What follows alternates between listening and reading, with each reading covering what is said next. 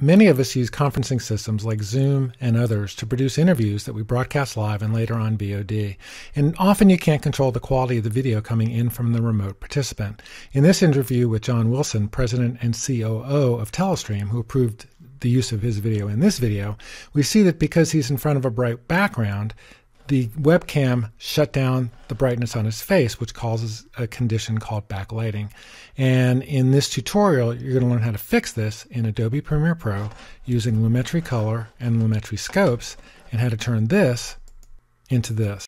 So there are two aspects to applying the effects. One is applying the effect and configuring it. And first you have to apply the effect and create a mask so that only this portion of the video is going to be affected.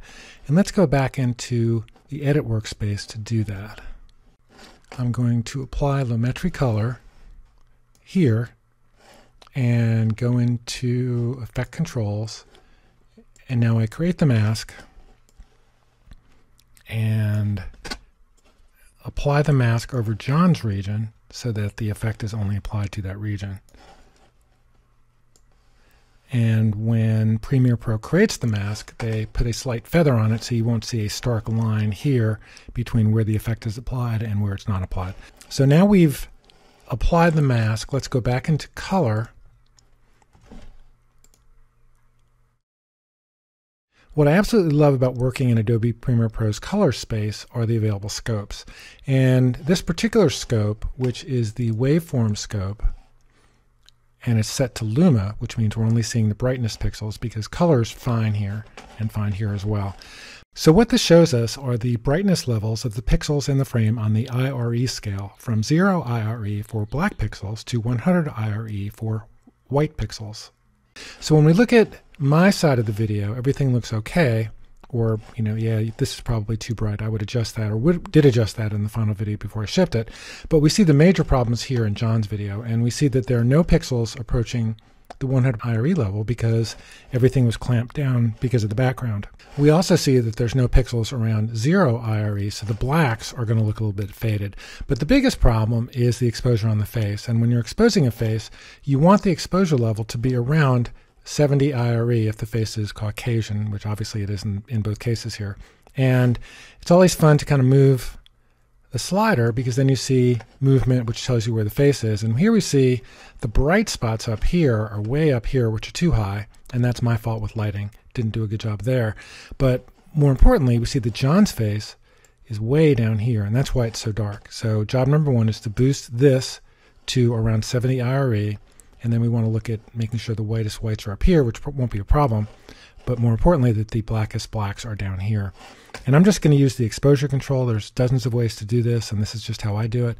And watching the face in the waveform, we see now the face is up to 70 IRE. And what we've done effectively is crush the whites. We've lost all detail in the shades in the background because we've pushed all the brightness levels up. But that really doesn't matter because there's no detail we care about people seeing here. And we really care more about getting consistency between the, the facial brightness here and the facial brightness there. And then if we look down here, we see that some of the blacks have been pushed off 0 IRE. So we're just going to drag this a little bit down this way. And we can see that mostly in the zippered area and the background area. So here's where we started, and now we're getting a little bit better contrast. And highlights up here, you could start to adjust. You know, we see that there's a lot of bunching right around 100 IRE. That's the the whites that I said we blew out. You could try and drop those a little bit, but whenever you do that, you're going to drop the facial value as well. And lots of little dials and levers you can mess with. Uh, you know, basically, you just want to make sure you have some pixels here, this in this range, and some pixels here, and then you can always see where you started, see where you finished. So I would say mission accomplished here from a brightness perspective. What I'm seeing though is a little bit of softness in John's image, and that's what I want to fix next. It's definitely secondary to the color that we just addressed, but I want to show you the unsharp mask as well. So what we're going to do here, and let me zoom in. I'll zoom in in a second to see what I'm talking about. And then we're going to use what's called the unsharp mask because that gives you controls that you can use to adjust where and how the sharpness filter is is shown and or applied I, I, guess I should say and effect controls here. Obviously, we have the same issue with only sharpening John's region. Click this down here, here, here. And now let's zoom in and you'll see what I mean from a softness perspective.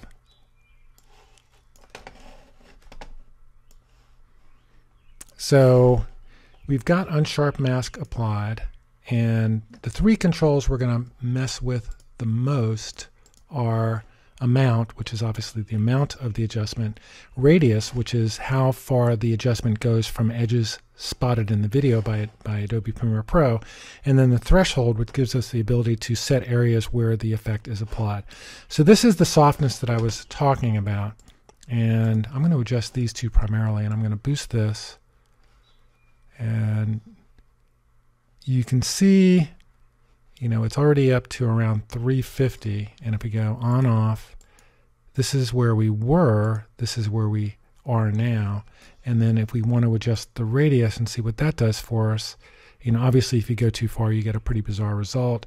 In this case, we may not, we actually may not need any adjustment of the radius. So let's get a little bit. And here's where we started, here's where we finished. And you see the blurriness down here in particular is gone, the blurriness on the side of his face is gone. And if we go back to full screen, everything looks a lot more normal. So here's where we started. Here's where we finished. Again, in the in the video that I actually uploaded to YouTube, I darkened this a little bit and adjusted the brightness levels a little bit down, but most of the work was done with John. And that's how you adjust brightness and sharpness with Adobe Premiere Pro, particularly using the masks available in all filters.